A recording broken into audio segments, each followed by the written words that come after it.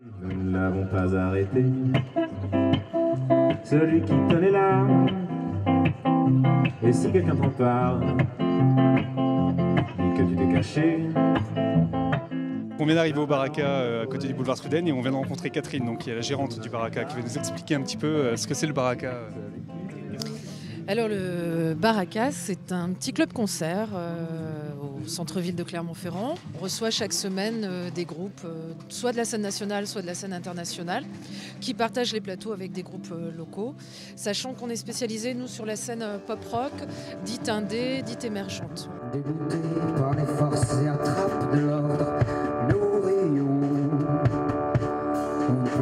Cette fois.